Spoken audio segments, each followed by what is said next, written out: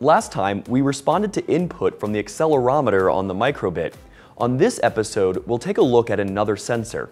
If you look closely at the back of the board, you won't see a physical chip that's designed to measure temperature. However, the main processor has a built-in temperature sensor that's actually intended to monitor the internal temperature to prevent it from getting too hot.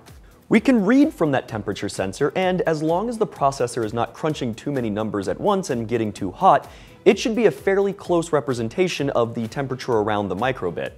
Head to makecode.com and start a new microbit project. We want to read the temperature and store it to a variable, so drag set item 2 from variables and attach it to the forever block. Click on item and rename the variable to temperature. Drag temperature from input and attach it to the right of the set variable block. Drag show number from basic and attach it just under the set variable block. Grab a temperature variable block and replace the default 0 in show number. This scrolls the number stored inside the temperature variable across the display. In BASIC, snap a pause block under show number. Change 100 to 1000. We want some kind of delay before the temperature scrolls again, otherwise you'll get an endless string of numbers with no space in between them. Download the project and copy it to your microbit. Every second, the current temperature of the processor will scroll across the display. Note that this is given in Celsius, so you might have to do some math to get it to Fahrenheit.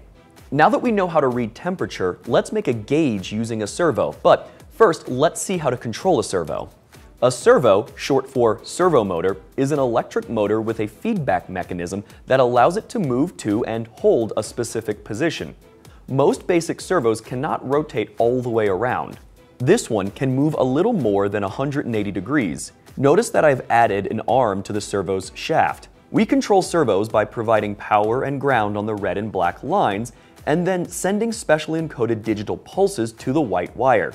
Note that some servos might have brown for ground and orange, yellow, or blue for the signal line. The easiest way to connect a servo to the microbit is to insert three jumper wires into the servo's connector and then use alligator clips to connect power to 3 volts on the microbit, ground to GND, and the signal line to pin 0. Let's test the servo. We'll have it move to different positions when we press the buttons. Back in MakeCode, start a new project. Drag on button A pressed from input to the project. Click on Advanced and go into Pins. Snap Servo Write Pin to the On button pressed block. Right-click on the On button pressed block and click Duplicate. Do this one more time so we have a total of three button pressed blocks. Move them around so you can see all three. Change one of them to look for button B and the other to A plus B. Under B, change the servo position to 90, which will have the servo point straight ahead. Under A plus B, change the servo position to 180, which will have the servo point to the opposite direction of its starting position. Download and copy this program to your microbit. When you press B, the servo should move 90 degrees. When you press A and B together, you should see the servo move to the opposite position from where it started. And when you press A, it should return to its original position. Now that we know the servo works, let's make it move to a particular position depending on the temperature. And let's keep the range to something about room temperature, so 20 to 35 degrees Celsius. If you want to make a slightly more permanent connection to your servo, you can use some solid core wire. Cut three 3-inch pieces and strip the ends. Use a pair of needle nose pliers to make hooks on one end of each wire. Wrap the hook of the wire around a 440 screw near the top. Place the screw through one of the mounting holes that we'll use, like ground. On the back side, screw on a plastic standoff to keep the screw and wire secure. Repeat the process two more times to attach wires to the other two pins. We'll need ground, 3 volts, and pin 0. Plug the wires into the appropriate pins on the servo's connector. In MakeCode, start a new project in variables, drag set item to 0 to forever. Change item to temperature. From input, drag temperature to that block and replace the default 0. We want to limit the temperature to something between 20 and 35 degrees Celsius. So, drag an if-then block from logic and snap it under the set temperature block. Click the settings icon and add an else if block. Click the icon again to turn it off. Grab the less than block from logic and snap it to the if portion of the if then block.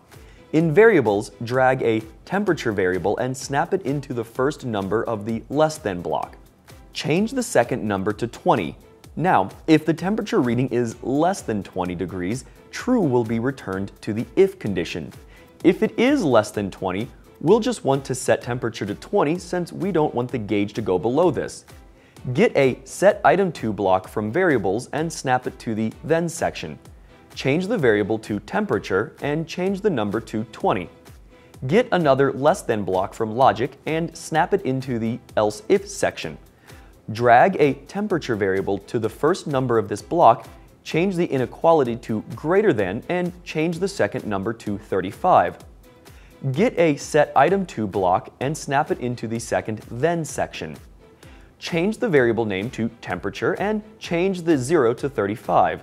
Now, if the temperature is greater than 35 degrees, it will be capped at 35. Click Advanced and go to Pins grab a servo write pin block. Snap it under the if-then statement. Back in pins, grab a map function and snap it inside the servo write pin block, replacing the number 180. Map linearly translates a number between one set of values to another set. The first number is the number we want to translate, and it should be somewhere between 0 and 1023.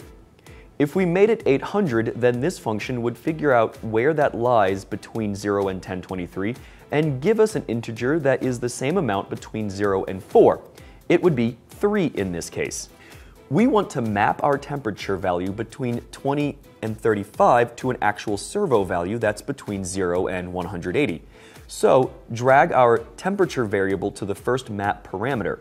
Change the from parameters to 20 and 35 and change the two parameters to 0 and 180.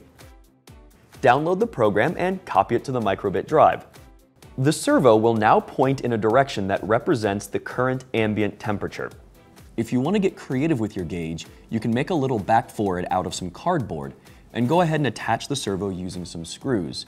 I also went ahead and marked the different integer values of the temperatures that it could show and glued on a popsicle stick to make the needle easier to read. If you turn the microbit over and breathe on the back of it where the processor is, you can get it to measure the temperature of your breath.